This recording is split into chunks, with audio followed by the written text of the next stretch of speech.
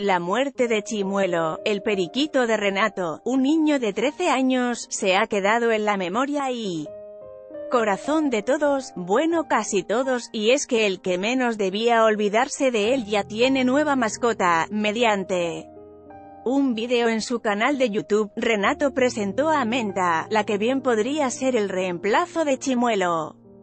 Pues su nueva amiga es un ave color verde igualita a la anterior. El menor originario de Chile hizo que el funeral de Chimuelo se volviera viral en cuestión de unos minutos, ya que en este se muestra como entierra a su mascota, entre cantos emitidos de su ronco pecho y unas emotivas palabras.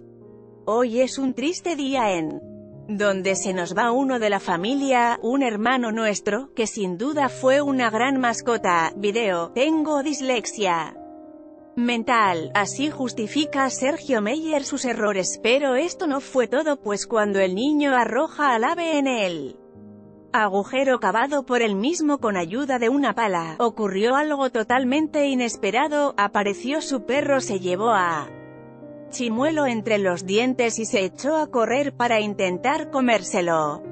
Sin embargo, su dueño intervino a tiempo y logró sacarlo de su boca. El video es detenido y cuando reaparece a cuadro, muestra al periquito envuelto en saliva. Y con el cuello colgando, el niño retoma sus cantos y así finalizó su ritual. Después de algunos inconvenientes, ahora...